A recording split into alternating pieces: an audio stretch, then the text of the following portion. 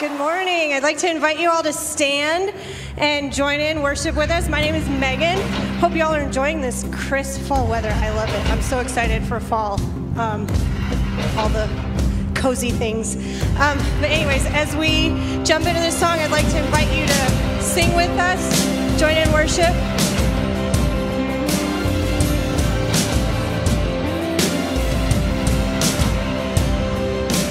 wasn't for nothing that you shared. my shame is gone. Won't be shackled to the way I was. I'm gonna live like my chains.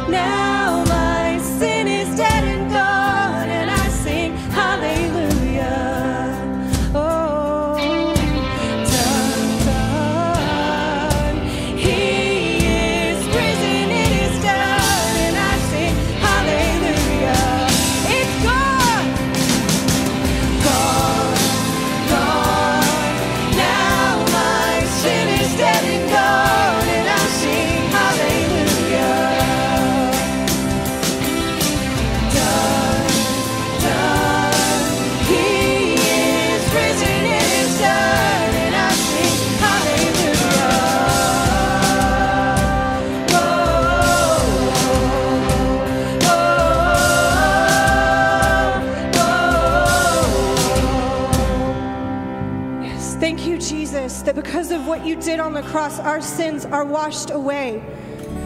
To thank you that we are clothed in the righteousness of Jesus. And from this place, we can sing that you, Jesus, you are worthy.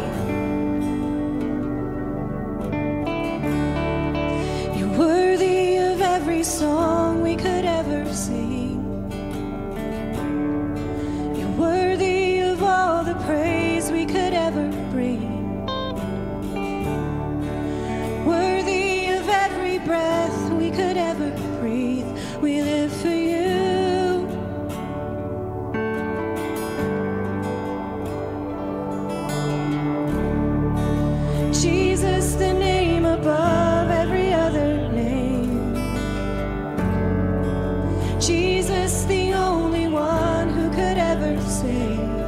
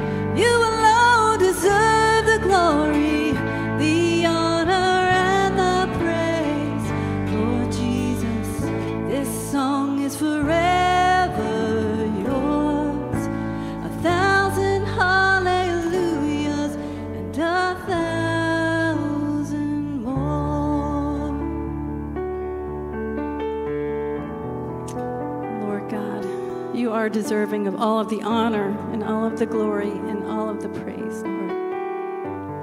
We exalt your name on high this morning. You're such a good, good Father, Lord. It is in you that we have peace, and it is in you that we have rest. And we just pray during these turbulent times, Lord God, that your peace and your rest will be with us, Lord. We seek your face for your presence to come and be with us today and throughout the week. We give you all praise and glory and thanks in Jesus' name. Amen. You may be seated. You take your seats, uh, ushers, just hold on a second. I'm out earlier than I usually am. We'll do a video announcements in a moment, but I have to. I got to show you a gift. Al uh, was out. He was shopping online, which is what he does, and uh, he bought me a present. He brought it in a couple weeks ago. It says this. It says, "Pastor warning: Anything you say or do could be used as a sermon." Um, so. First of all, my kids have known this warning their whole life.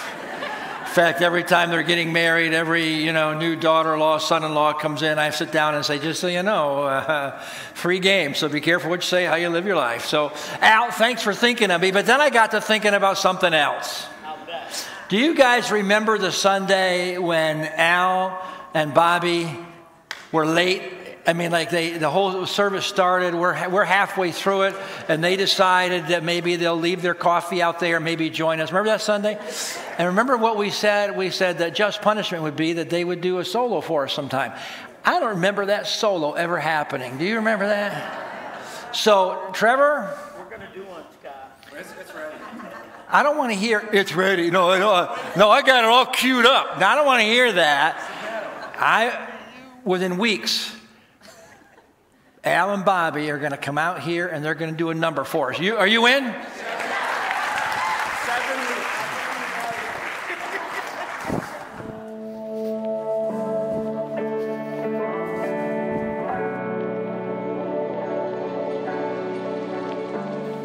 Hi, church. My name is Adele. I am Pastor Scott's assistant and lead a role solely focused on ensuring people find belonging and community within the life of our church. If this is something you're looking for, please fill out our online Connect card found on our Church Center's homepage. Today, I have a few announcements to share with you. Student Ministries is hosting a coat drive for the month of October. Please help families in need this holiday season by donating new or gently used coats for both kids and adults. Drop off locations are held on Sunday mornings in the lobbies at both Essex and North Avenue. The Financial Peace University class is starting today during the 10 a.m. service downstairs in room 204 at Essex Alliance. If you are interested in joining, you still have one week to register and learn how to have a life without financial stress. If you are grieving the loss of a spouse, know that you are not alone. We invite you to our Grief Share seminar on October 14th from 1:30 to 4 p.m. This seminar is designed to provide a safe place to share your thoughts, feelings, and hear from others who have been there as well. We will explore practical, emotional, and spiritual aspects of this loss and look for a path forward. Our night of worship is happening on Wednesday, October 18th, 7 p.m., here at Essex Alliance. Come get away from the noise of the world and join us to experience the joy of worshiping together. We are having an all day sew-a-thon on Saturday, October 21st here at Essex Alliance. We will be sewing functional items for Bongolo Hospital in Gabon, Central Africa. If you love to sew, please come join us. Whether you're new to our church or have been attending for a while, we invite you to join our Discover EAC class on Sunday, October 22nd from 3 to 7 p.m. This class is led by Pastor Scott Slocum and explains in depth the history, mission, and vision of our church. This class includes a Q&A session and dinner is provided. Our annual trunk or treat is taking place on October 31st from 4 to 6 p.m. at our North Ave campus. We need a lot of candy donations and are looking for volunteers to decorate their vehicle trunks, dress up, and join us in handing out candy. We are very excited about our baptism and child dedication services this fall, Sunday, November 5th. If you are interested in being baptized, sign up on Church Center for a one on one. This one on one is with one of our church elders and is created for you to express your desire to be baptized and share your story. You can also find more information about child dedications and baptism classes for kids and teens, all on Church Center. In just a moment, we'll be taking our offering. Thank you for giving so faithfully, whether that be texting to give, online giving, or automatic giving. Your giving makes all these things and more possible. Everything I just mentioned can be found on Church Center, specifically under our Sunday morning announcements, where you can easily sign up and gather more information on everything announced. Whether you're here in person or joining us online, we are so glad you've chosen to be with us today.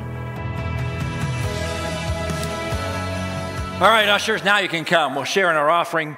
Thank you, as you hear me say every week, thank you for giving and making ministry happen uh, and to join in together. Uh, so, uh, fall's finally come, huh? I mean, after 83 degrees this week, fall finally came. The most wonderful time of the year.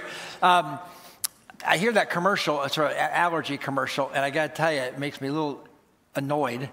They're playing Christmas music, but now I'm sucked into it. So now I got it in my head. But this is a wonderful time. You know, don't you love it when you have to wear a sweater? I mean, I, I, love summer, but don't you love it when you have to pull the sweater? These people in Florida, you know, that think they know seasons, they got nothing. I mean, they, we know what it's like to turn the heat around for the first time and have the whole house smell like burning dirt. Um, huh? I mean, that's, that's our, that's us. We got that. It hasn't come on yet, but it's coming. Uh, so many things happening. It really is in, in, the church world for me one of the exciting times of the year. So many things taking place. You've heard about them already. Adele talking online, but I mean, we've got we're collecting candy uh, taking place for trunk or treat. We've got the coat drive that's happening. Uh, clean coats, bring them in. Um, Christmas Operation Christmas Child, the boxes. We're collecting for uh, uh, gift cards that we give out at Christmas. Uh, it's a time for the church to step up in so many ways and demonstrate to the people around us we care about them. So jump in and participate participate. You know, I like about the fact that some not always have means. So some of you go out buy candy, some of you don't have that means. But coats, I mean, we've got coats in our closets that we can pull out, wash them up, turn them in. And some some kids, some adult in in, the, in Burlington area is going to have a warm coat. So this all the things that are there, join in and, and by all means participate. I want to highlight one key thing for you. Um, our the weekend coming up, the very last weekend in October, October 28 and 29. I want to remind you of that that. We have a special guest coming on that day. His name is Dr. Michael Ferris. Uh, and you might recall he did a presentation about five or six years ago called A Journey to the Potter's House. Um, he, uh, he does pottery. Uh, he, we will have the stage set up for him. It'll be all him. There'll be no worship that day. It'll be a 60 minute time.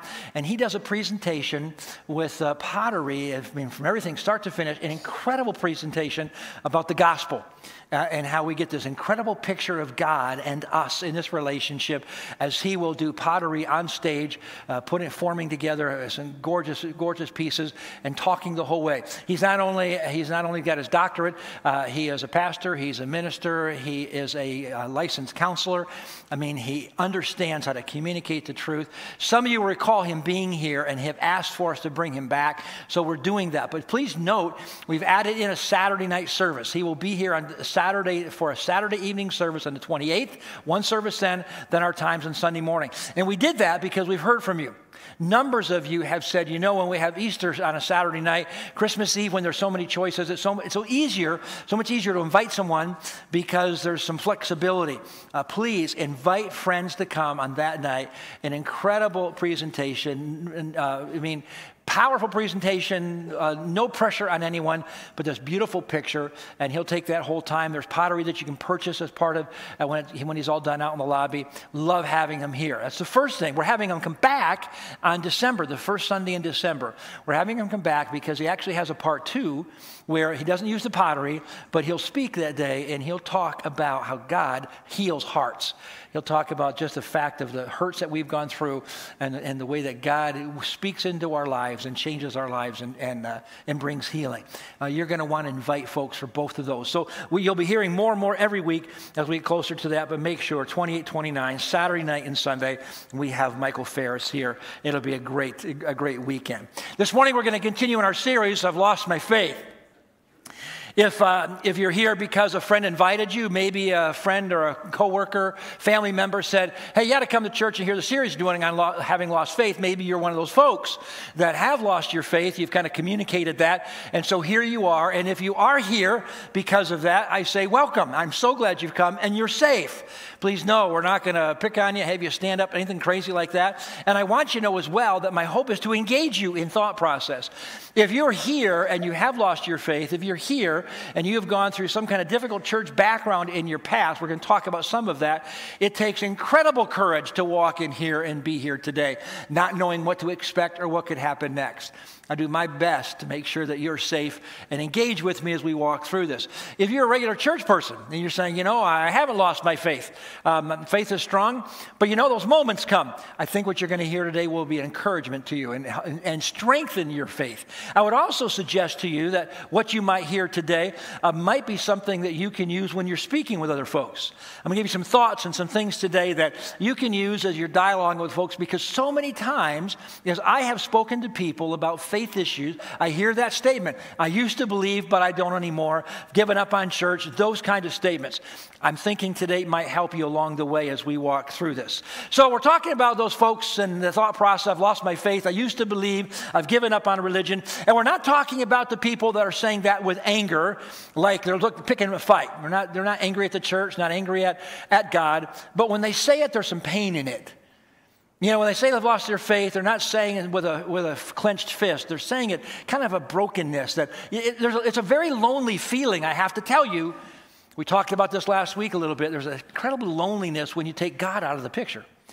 And so I want to speak to those folks that would feel some of that loneliness along the way. Now, as we get started, I think we need to be honest and transparent about a couple of things. I want to make some statements talking about a few things that for some of you you'll love, some of you might hate. We'll see how it goes here as we walk through this. But let's be honest, sometimes this religious stuff, the church stuff and religion stuff, let's be honest, sometimes it gets pretty weird. I mean, there's a lot of weird stuff that pops up in, the, in the, the things that we do are required to do, the things that we have to practice. Um, Diane and I have had the privilege of doing some traveling through the years around the world in different countries. And, and of course, none of us want to be disrespectful. I don't want to be disrespectful at all. But as I've traveled around and see different religious and, and, and faith systems, admittedly, at times you walk away and go, man, there's some weird stuff out there.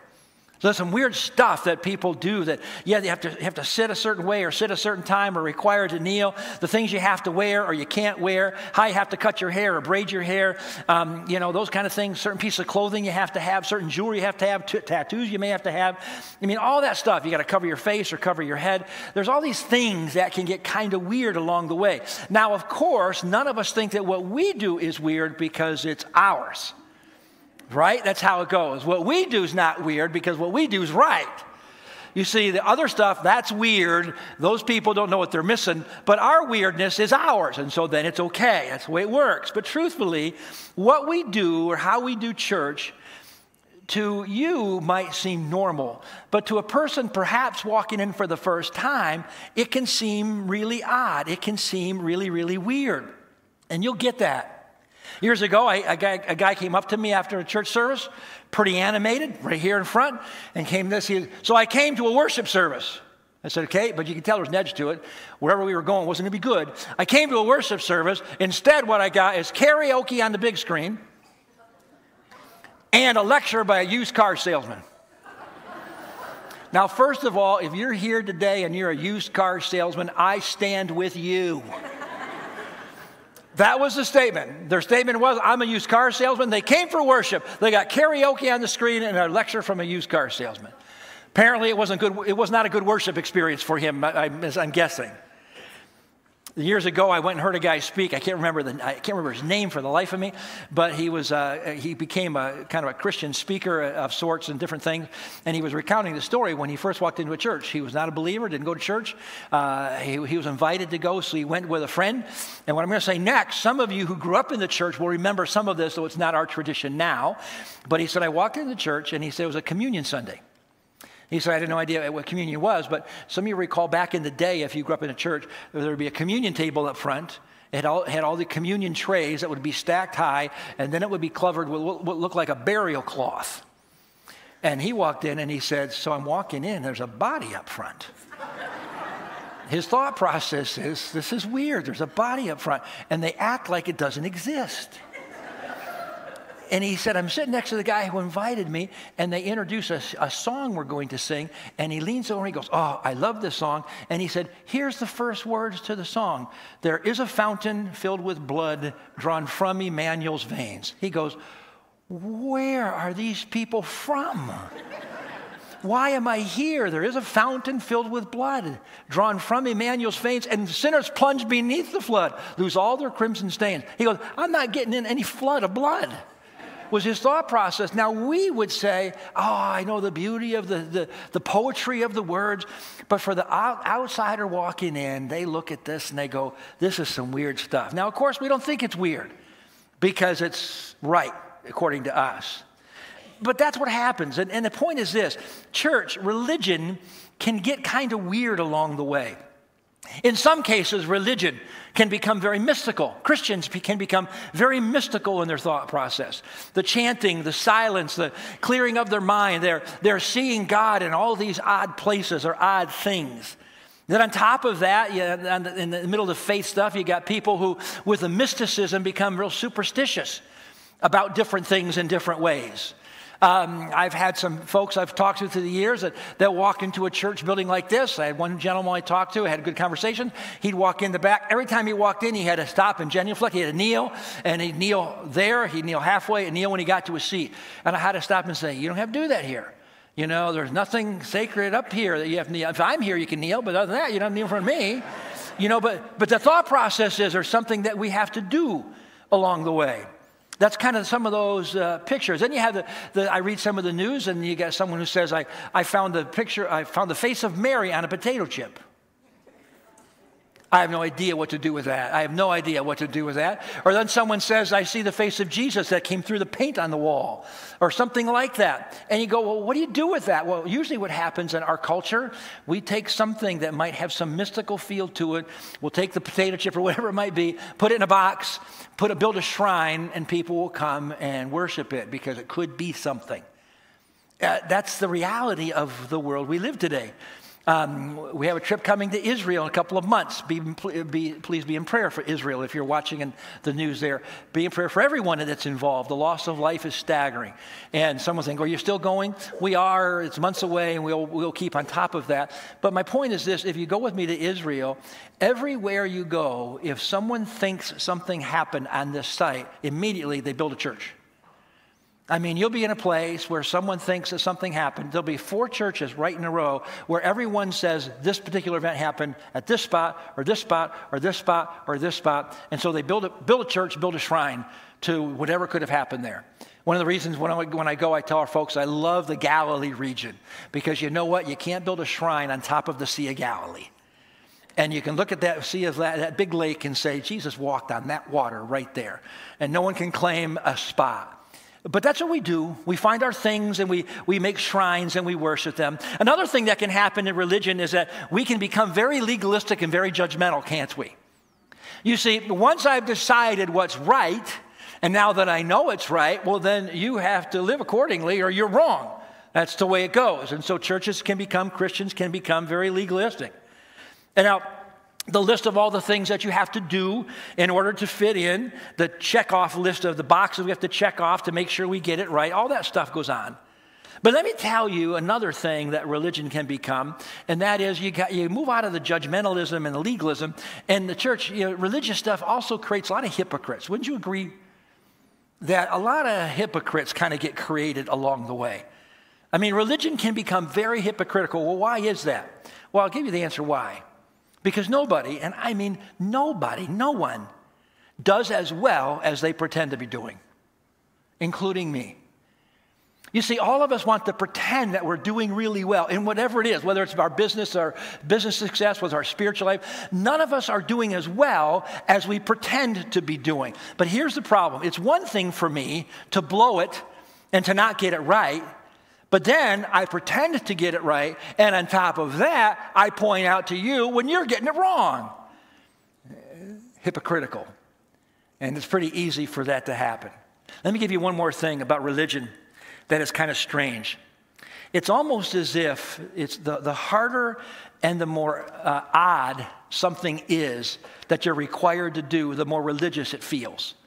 It's like some of the cults. They say in order to be close to God, you have to cut your hair or shave your head or give up certain things. You have to dress a certain way. If you're a true believer, you'll do this, this, this, and then people do it.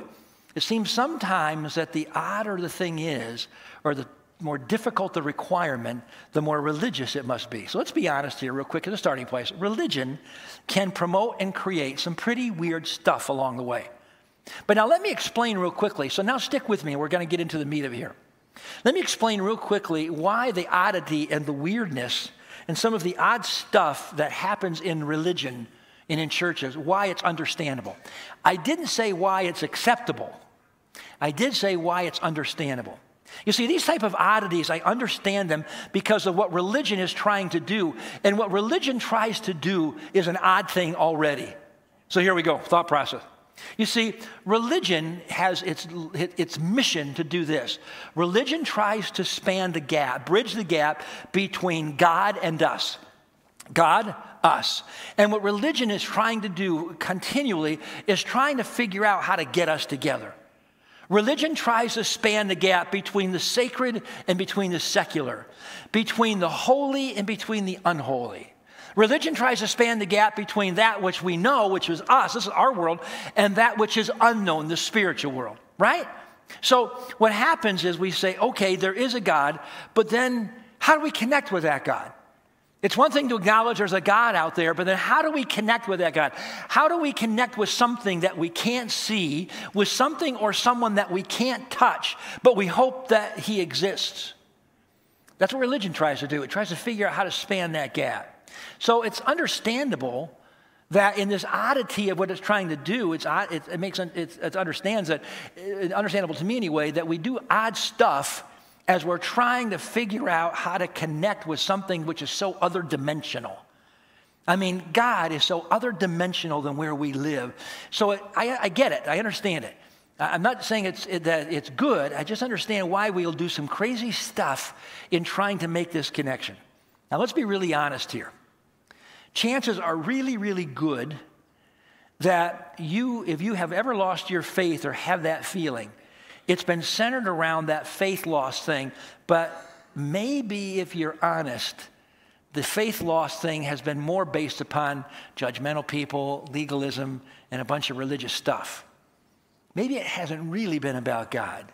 So this morning, I want to look at a passage that talks about church, talks about faith stuff before, before the church started, before all the religious people got involved and clouded if you will, before the weird stuff.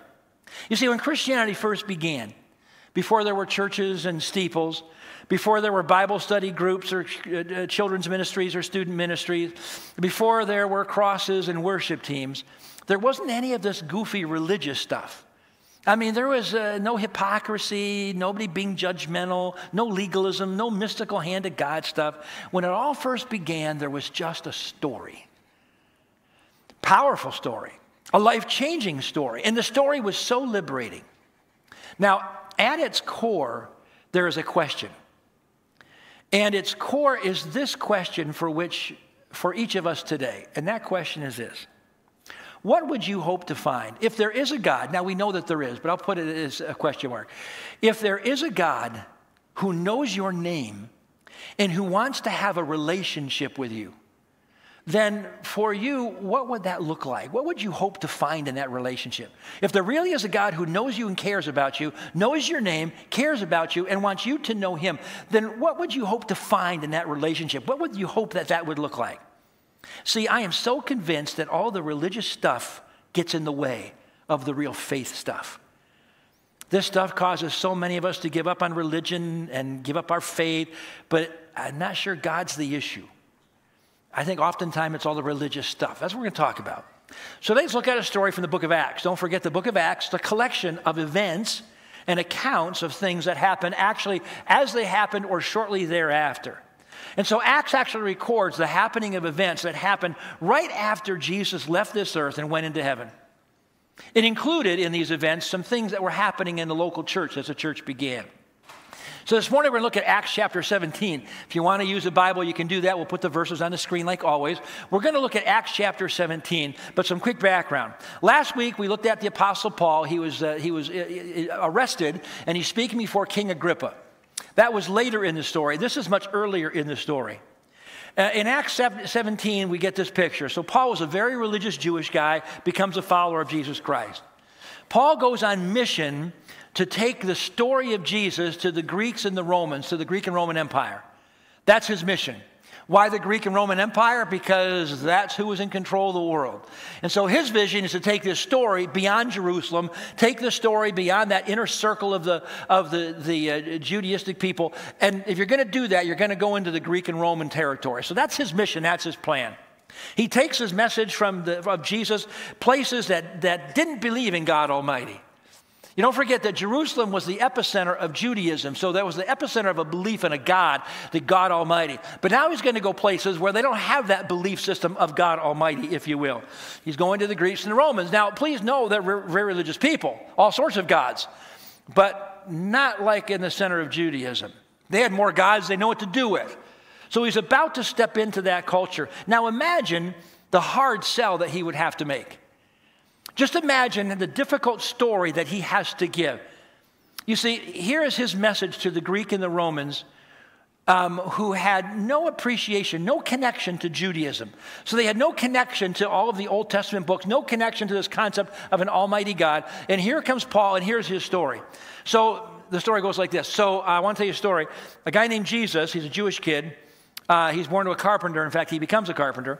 He does that for a number of years, and then he becomes a preacher and teacher. But in fact, he really is the Son of God, but nobody knows it. He's a son of God, but God didn't announce it. God didn't tell anybody. Uh, he's just a carpenter, but he's actually a son of God. And I'm going to ask you to abandon everything that you believe and believe my story. And so the carpenter becomes preacher, teacher, and uh, he has a following because, oh, don't forget, he is the Son of God. And you might interrupt him and say, okay, so where is Jesus now? Oh, he's, he died. So he's dead. Well, not exactly. Now, now it's going to get real mucky here. Not exactly. So you go, well, how, do you, how is he not exactly dead? Well, he was dead, but he's now alive. Well, how does that work? Well, he died, and he was dead for three days and they know he was dead, but he rose from the dead. I got to tell you, that's a pretty hard sell story. That's a hard sell story today. That would be a pretty hard sell story. And in fact, don't forget, while he's telling them this, he's saying, and so when I get done with my story, I want you to abandon everything you've always known, and I want you to follow me and my story.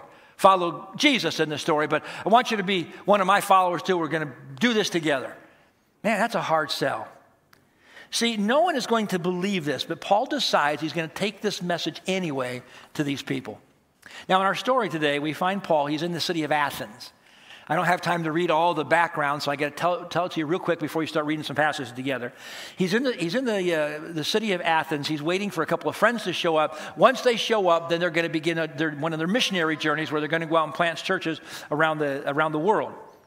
Now, while he's in Athens, he's walking around enjoying the streets like you would if you were in New York City or some other big city. He's walking around taking it all in, and he notices that there are very religious people. Incredibly religious. They've got, they've got shrines and temples and, and idols everywhere in the city, all sorts of worship spots, if you will. So he, it's connecting to him that there's a very religious people, but it's bothering him a little bit. So he decides to have a conversation with these very religious people. Here's where we pick up in verse 16 of Acts chapter 17. So while Paul was waiting for them in Athens, waiting for his friends, he was greatly distressed to see that the city was full of idols. So, okay, everywhere he looks, there's idols, so all of these different gods. There's all sorts of temples, there'd be all sorts of shrines, all sorts of worship spots. Now, what that means is this catch this, is an important statement. Though they were very religious, they were very uncertain. You see, they had, they had places to worship everywhere. They had all sorts of gods to worship. They were incredibly religious people, but they weren't certain. They didn't exactly know which to follow, which one was right. They wanted to believe something, but they didn't know what to believe. I would suggest to you, friends, that's the same as us. Same as us today. We've got people that want to believe something. Yeah, I think there's a God, but I'm not exactly sure uh, what to believe about this God.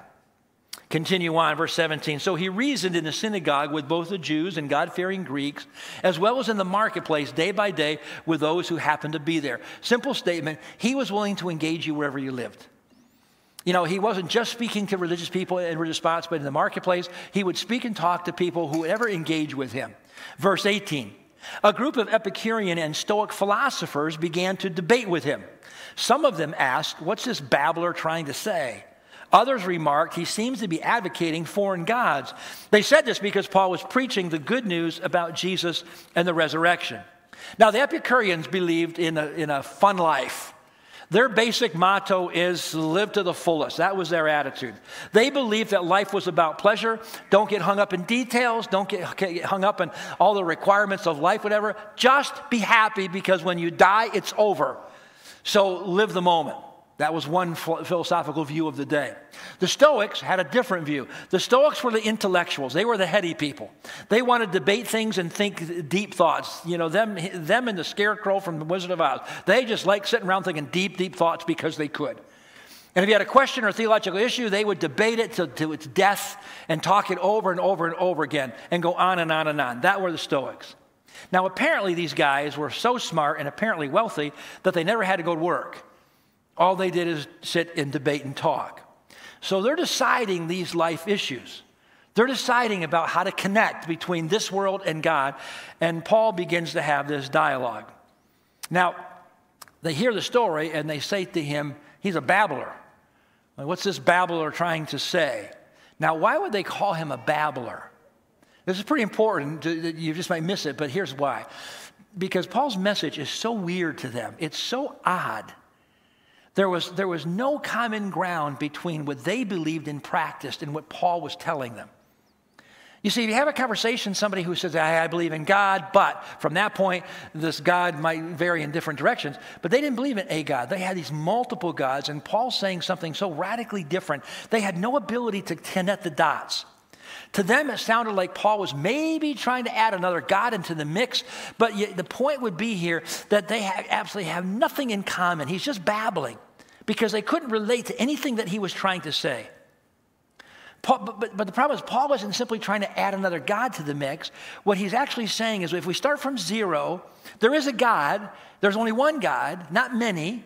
There's one God, the Almighty God, who sends his son into our world to connect with us. His name is Jesus. Jesus comes and dies, and to prove that he really is a son of God, he rises from the dead. So that's the storyline. Paul moves from philosophical and theological here to a practical here and now, which you might miss.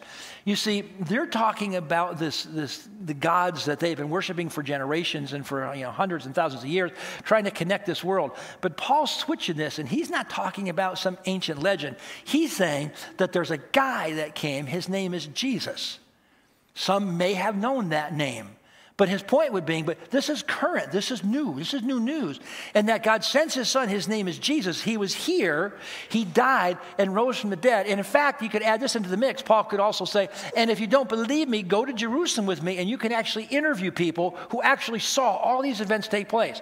That's how fresh it is. So there's a new story here. They're talking about religious thoughts out there somewhere, and Paul's talking about God being right here, right now, that they could actually know verse uh, 19. Then they took him and brought him to a meeting of the Areopagus, where they said to him, uh, May we know what this new teaching is that you're presenting. What's the Areopagus? This is a gathering, a council, if you will, a court, where great religious leaders, philosophical minds would come together and they would listen to people make presentations. So somebody comes and says, Hey, I have a new idea about God. They would say, Okay, make your case, and we'll decide whether it's authentic or not, real, realistic enough to, to tell people. So they call him into that and they say, Okay, tell us your story. So he begins in verse 20. You're bringing some strange ideas to our ears, and we'd like to know what they mean. All the Athenians and the foreigners who lived there spent their time doing nothing but talking about and listening to the latest ideas. I don't know how these guys got their money, but what a great gig. I'm going to pay me all day to sit and talk about nothing.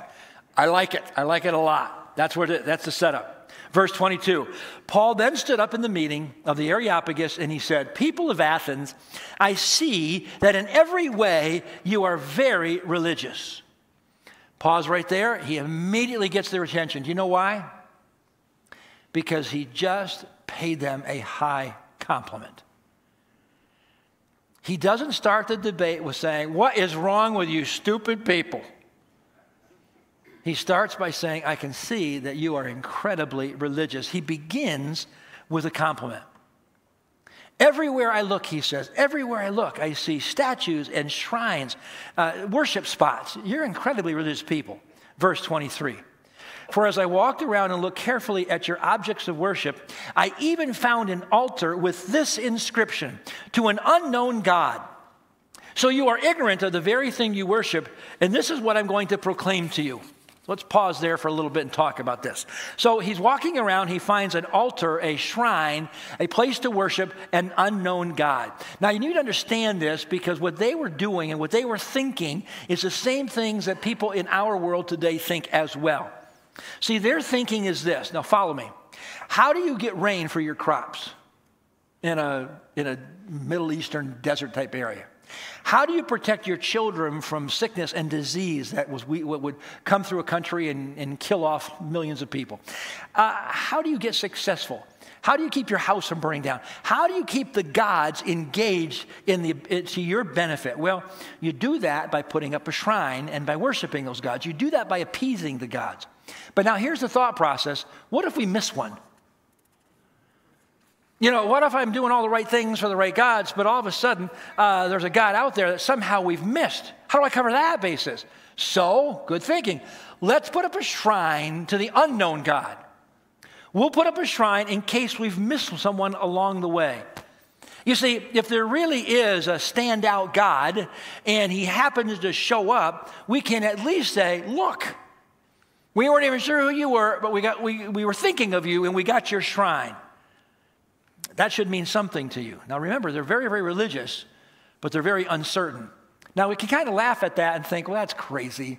But I have to be honest with you, we see the same thing in our culture today. But here's how it sounds for us today a person can not go to church.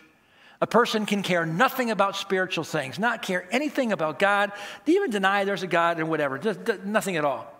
Live their lives any way that they please. But then Christmas Eve comes or Easter, and they say, you know, I should probably go to church Christmas Eve. Maybe I'll go to one of the Easter services.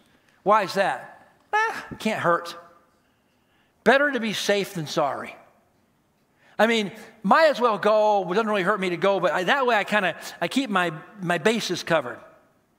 And while they're there, they drop. You know, they walk by the offering box, and while they're there, they go, "Oh, I'll drop a little tip into God." Nothing wrong with tipping God. Same thought process we have oftentimes. We go someplace it gets good service, we tip, or if we want to get good service, we tip. Went to a resort years ago that Diane and I, and I went, I, I, I like my eggs a certain way. And the guy had a tip jar there, and usually you give your tip at the end. And he made the eggs and he made them perfect. I'm going to be there for five days. And so instead of waiting to the end, I, I looked at him and said, These eggs are fantastic. This sounds dumb, but I like my eggs. And they got to be done right. Don't be doing them too hard. Don't be doing them too soft. Perfect. And they're perfect. And so instead of giving them like two bucks, I take a 20 and say, I'm going to be here a week. Thank you for those eggs. I was so embarrassed like the next day. I come for breakfast. There's a line of like 10 people, and he sees me. Hey, uh, yo, mister, mister, right up here. I walk up. He goes, Ah, I'm going to fix your eggs special for you. And everyone's going, What's wrong with our eggs? Uh, I don't know. Maybe I tipped him. You see, we think like that, so tipping God can't be wrong. In one of my uh, former churches, I had a fella that um, didn't, uh, didn't attend very often, didn't, well, didn't attend at all, didn't even like church, didn't care about God at all. But the thought process was the just in case, if you will. And uh, what he would do was one of our best givers was this guy who didn't even believe in God. And you say, well, why would he do that? Just in case. I mean, even if I don't really believe in him, but God, look what I've done. Look at all the stuff the church can do because I've given to you pretty faithful, faithfully. So that happens a lot in our thought process. We have this thought that says, well, I'll, you know, cover my bases just in case. Look, God, I don't even believe in you, but, but you know, once a year, I just in case, look what I did. It's got to be worth something. That's the same exact way the Athenians were thinking about this shrine to an unknown God. Lots of ideas, lots of hopes, but no certainty. So Paul sees this and he sees this the moment. He realizes that this shrine is there openly admitting that they don't know everything, right? Now just catch this. This shrine to an unknown God are the people there saying, you know what, we, we don't know everything. We don't have all the answers. We have questions we don't have answers for. There's a possibility that we've missed something out there. There's this gap between us and connecting with God, and maybe this unknown God is one of the key players in closing the gap. So Paul steps in. He steps in by saying these words So you're ignorant of the very thing you worship. Now just pause right there for a moment because it doesn't sound real good in, English. But unfortunately, that's the way a lot of Christians think today. Well, they're all ignorant, not like us. But that's not what the word means. What the word means that Paul used in that moment was this. He wasn't saying, so you're ignorant. He was saying this. So you're uncertain. It means uncertain. Paul says, so you're uncertain of the very things you worship. Please know it was not a put down. It was not our, our approach which would be, well, we're right, you're wrong. His approach was, so let me get this right. So you're uncertain of the very things that you're, you're worshiping. So Paul says, well, let me help you. And he goes into a great sermon, uh, verse 24. The God who made the world and everything in it is the Lord of heaven and earth, and he does not live in temples built by human hands. So, what's interesting, the first lesson he wants to give them is this, and this would be important to a people who had all sorts of gods. He says this your vision of God's too small. His first picture he gives to them is this God's bigger than your religious thought process. God is bigger than your boxes. God's bigger than all these shrines that you've built. There is a God, and he's bigger than any of those things. You see, the real God, the God Almighty, doesn't fit into your religious box. Then he keeps going, verse 25. And he is not served by human hands as if he needed anything. Rather, he himself gives everyone life and breath and gives them everything else.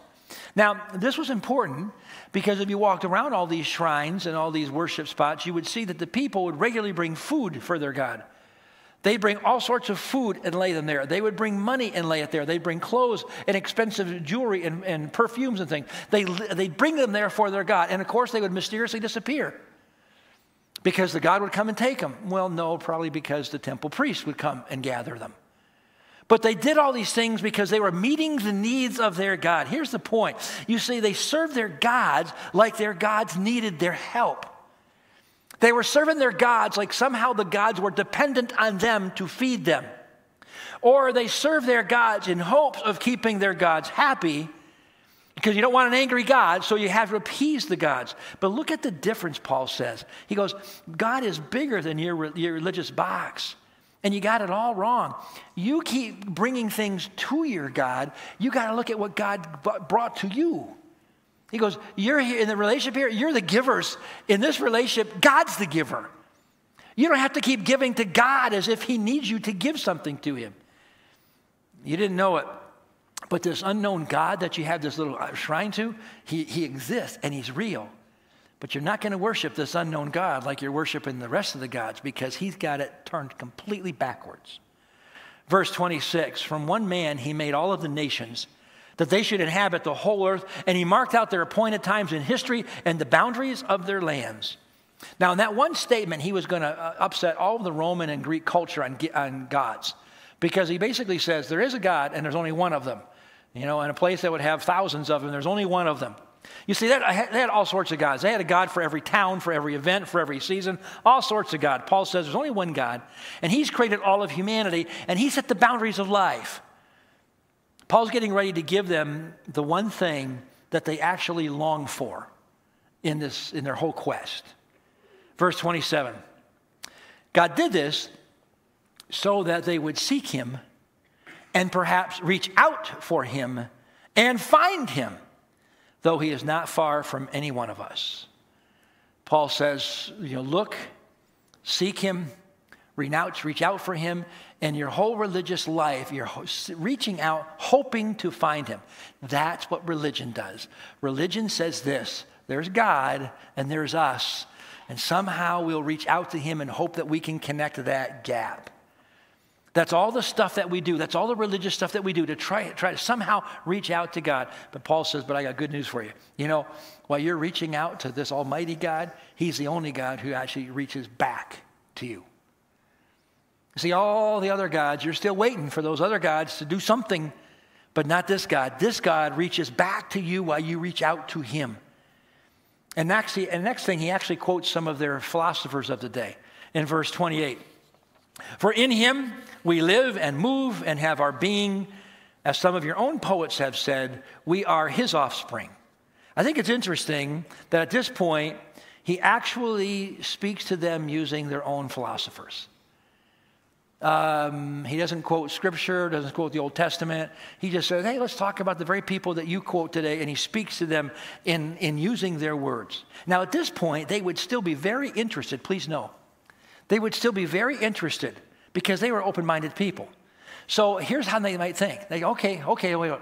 So you're saying there's one God. You know, we always had room for that. We thought he was Zeus. But you're saying maybe it's not Zeus. So at this point, they wouldn't shut him down yet. It'd be like, okay, you got us. You know, you, that's pretty good. You're pretty sharp. And you're kind of fitting right into what we think. So keep going. So he does. Keeps going in verse 29. Therefore, since we are God's offspring, we should not think that the divine being is like gold or silver or stone, an image made by human design and skill. In the past, God overlooked such ignorance, but now he commands all people everywhere to repent. So he starts by saying, you know, we, we, everything that we are and who we are, we, we are because of his existence. The, this Almighty creates us. And then he says, because we're God's offspring, uh, this divine being that you keep trying to put into gold or silver or stone, you can't put him into gold, silver, or stone. His statement is this we're all his offspring, so forget all this idol stuff you keep doing. You know, he, what he's subtly saying is this you keep humanly trying to create God and create these worship centers. You keep trying to create this way to connect with God. And he goes, I got to tell you, it doesn't work. And then he said something in verse 30, which is kind of profound. He says this In the past, God has overlooked such ignorance. Well, ignorant of what? You know, he said, basically, God, you've been ignorant for a long time. You haven't known what you're doing here. And God's overlooked it. Well, ignorant of what? Ignorant of who God is. You've been trying to figure out who God is, and all this time, God's overlooked it. You know, you, how can we know Him? What does He look like? God overlooks your ignorance. He's overlooked it, but not now. So you got to catch this here. What He's talking about now is a change. All for generations, they've they believed in the gods and trying to figure out who God is. And he goes, But God overlooked your ignorance about knowing who God is, but something has changed. You haven't understood it? I got it. You couldn't see him, you couldn't touch him, understand that. But now something has changed. Now he commands all people, here's the next statement that said, He commands all people to repent. Pause right there. When we hear the word repent today, it's not a good word for us. When we heard the word repent today, we think turn from your, your wicked ways, stop your evil lifestyle, blah, blah, you know, that's, that's repent. But that's not what it means in the word that he used. What he said to them this He said, But now is the time where God calls you to change the way that you think. Repent. He says, Now it's time for you to start thinking differently about God. God overlooked your not knowing. God overlooked your ignorance along the way, but not now. That word now is really key because what he's saying to them, you've got all these things that have been here for generations, but you know something happened not too long ago. When Jesus went to the cross and when Jesus came back from the dead, that was a game changer. So now he's talking about the now. They're trying to figure out if they can know God. He's saying, actually, you can know God and you can know him right now in this moment. Verse uh, 31. For he has set, still talking about God, for he has set a day when he will judge the world with justice by the man he has appointed, meaning Jesus, and he has given proof of this to everyone by raising him from the dead. Now, now we get into the nitty gritty. Paul says this listen, guys, this is a game changing moment for you, so listen carefully. Everything that you believe, everything that you practice is based upon an unproven past a creation of the gods, if you will, a bunch of thoughts and beliefs. But listen, I'm here to tell you there is a God. There is a God. And He's near to you. One who came to give, not to take from you. He is one who knows your name and He wants you to know Him personally. I know, I know this would be hard for you to believe. He knew this would be hard for you to believe that God would actually have a son that would be in this world and living among us. So, what he did is his son died and he brought his son back to life to prove that he really is the Son of God. And if you don't believe me, come to Jerusalem and we'll interview people and you can talk to them firsthand. Verse 32. And when they heard about the resurrection of the dead, some of them sneered, but others said, We want to hear you again on this subject. And at that, Paul left the council, and some of the people became followers of Paul and believed. So he lost some at that point. As soon as he talks about resurrection from the dead, he lost some. We lose people today on that one. Who's ever, who's ever had someone come back from the dead? But make sure you get this. But you didn't lose everyone in that moment. So let's kind of wrap up. Here's today's point chances are good that you have had a bad or odd or strained or some kind of cultic experience of some kind in, in your religious background, religious context. I wouldn't ask for a show of hands, but here's the point. Um, if I were a betting man, I'd bet money that just about every single person here would say, I have experienced some strange, odd, weird stuff in church or the Christian context. Some church, some Christian, some Christian leader, some people who have been way off base on their beliefs. Crazy stuff going on in the church, and you have been affected by it and perhaps even hurt by it. But the truth is this when you pull away all of the religious stuff, when you pull away all the stuff that happens in churches and people cry and complain about, the buildings, take the crosses and the steeples. I want more hymns, or I don't like the music, or it's too loud, whatever it might be. You have to dress a certain way, you have to look a certain way. You have to look holy if you're going to be in church. Take away the stuff that have been in churches sometimes like this. Well, shame on you for having marital problems. We've got people who've got deep relational problems that don't share them because their feeling is they get judged because of it. Shame on you for having an addiction in your life. Shame on you for having gone through divorce. Shame on you for having gone through an abortion. Shame on you for having all these problems and doubts. If you can strip away all of the religious garbage that has come with the package, strip them all away, and go back to the very beginning of the gospel story as it first happened, what you find is mind blowing. It is just incredible. Paul says to them, Listen, you haven't been wrong about everything. Now, here's where I'm going to get ready to close, so, so tune in with me. Especially if you're a person that sees the world and sees the evil in the world or sees the thought process or see the stuff happening in the world and you're sitting there saying oh they're so wrong and you just want to you want to pick up the cross and go to a holy war because of the stuff that's happening paul never did that if you're here and you're a believer you say we are right paul never came across with the arrogance of being right paul says to them listen you know you guys are very religious and you haven't been wrong. You haven't been wrong about everything. I mean, you believe that God exists. Man, that's, that's, that's the right view. There is a God. You're doing your best to reach out to Him and to somehow connect with Him. Man, that's good. That's exactly right. And he goes, and here's the good news for you um, God is, in fact, reaching back to you. All this stuff in your life, you're trying to reach out to God. I just want to let you know that God is actually reaching back to you. God doesn't want you to have to live with uncertainty. God wants to be known. God knows you and God wants you to know Him, and He wants you to know Him in a personal way, not in a way of fear or appeasement. And He's done that not through traditions.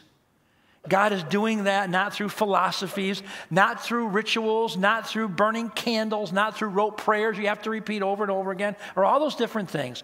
He comes to you in person through his son Jesus, who died on a Roman cross, who came back from the dead to prove that he is the real deal and that he is the Lord of life and he brings life to you.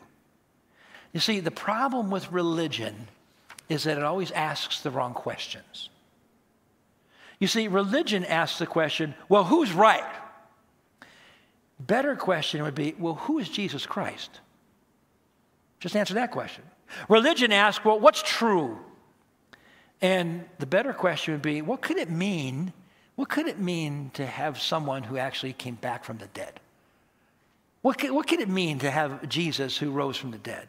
Religion asks the question, well, what does God want from me?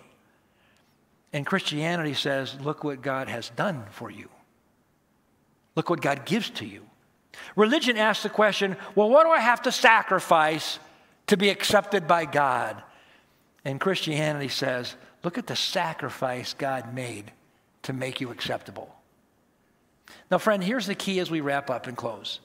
Jesus Christ is not like Jesus is not like religion 2.0. Jesus Christ is not like the best uh, software you have on your computer. You're going to get the next one that adds to it. He is not that. Jesus is not the nice add on that you add on to your already existing belief system and make it even stronger. No, no. Jesus is the answer to all the questions that religion has been asking for generation after generation after generation. Religion has always been saying, how do we span the gap between my little world here, my life, and the God of the, of the unknown, the, the God of eternity? How do I span that gap? Jesus is the answer to all of that. Better said, Jesus is himself the answer to all the religious questions that religious feeling people have been trying to get answers to. Is there a God? Can he be known? Are we known to him? Does he care about me? That's why Paul didn't do what so many Christians do today. Paul didn't go on the attack. The Apostle Paul didn't launch into a holy war. Didn't feel like we got to stop evil in its tracks. He said, No, I got a story to tell you that'll change your life. He didn't come out and say, You're all wrong. Can't believe you're getting it wrong. You poor, ignorant people. Nope. He starts by saying, I need you to know that you haven't been wrong. In fact, your questions have been exactly right. Your questions, I mean, what you're after, have come right from your heart because there's a longing in every one of our hearts to think if there is a God, how do we connect?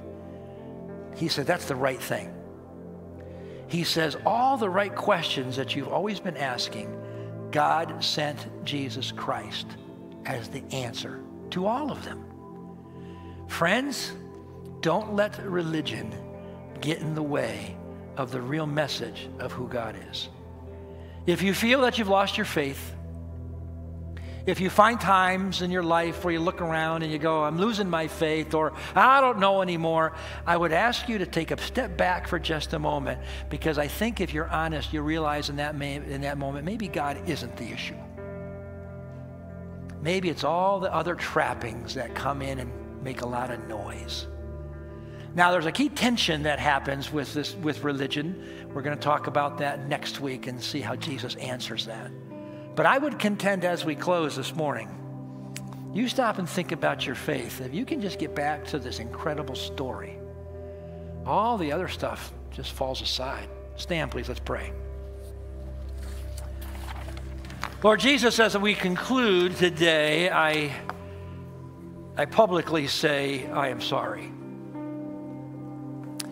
I am sorry for the times that I have contributed to the noise, to the religious noise that people feel.